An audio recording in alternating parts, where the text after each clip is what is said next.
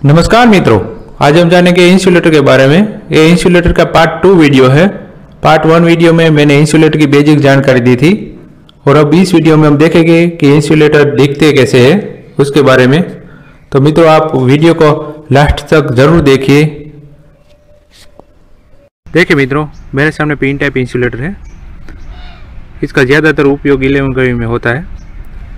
यहाँ पे इलेवन के वी का कंडक्टर लगा होता है, यहाँ से लाइन सप्लाई होती है। और ये हमेशा पोल के ऊपर ही लगे होते हैं। ये देखिए, इसकी बनावट ऐसी है।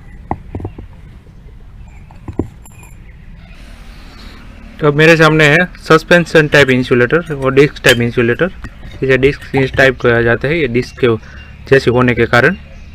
इसका उपयोग तैतीस के वी और उससे अधिक के वोल्टेज में होता है। देखिए, मेरे सामने डिस्क टाइप इंसुलेटर है।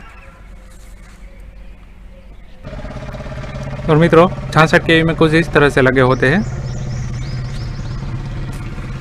इसमें देखिए छः डिस्क है, यानी छाछठ के में। एक डिस्क इलेवन के वी की होती है। तो इसलिए छः डिस्क लगी होती है इसमें। ये देखिए मित्रों, ये मेरे सामने स्ट्रेन टाइप इंसुलेटर है। ये हॉरिजेंटल दिशा में लगे होते हैं। जहाँ लाइन स्टार्टिंग होती है,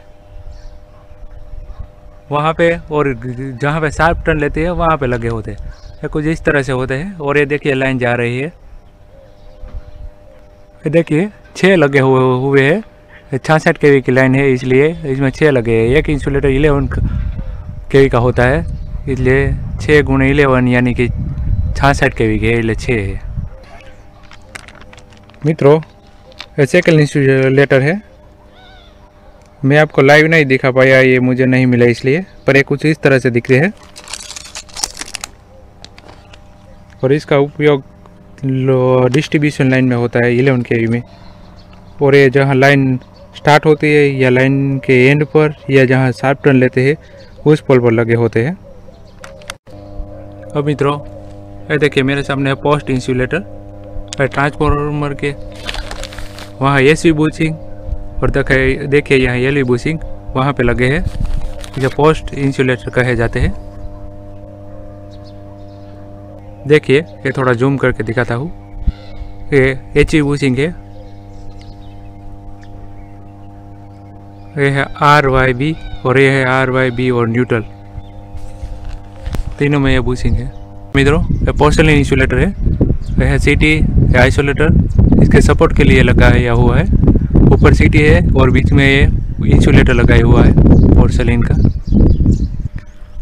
अब देखिए मित्रों स्टे इंसुलेटर है ए इलेवन के का पोल है, उसके साथ लगा हुआ है पोल और ग्राउंड के बीच में जो सपोर्ट होता है वहाँ पे, ये देखिए उसमें भी है, ये यहाँ भी है, ये सभी पोलों में लगा होता है।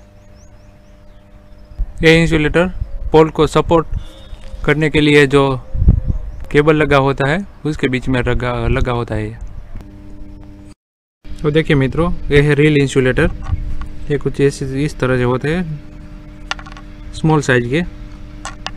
ये जो केबल आती है, हमारे घर में सप्लाई उसके साथ लगे होते हैं। तो मित्रों, ये थी इंसुलेटर के बारे में जानकारी।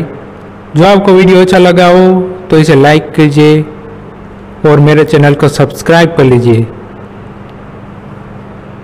ताकि न्यू वीडियो बनाने का सपोर्ट मुझे मिलता रहे। और मित्रों, पूरा वीडियो देखने के लिए आपका धन्यवाद।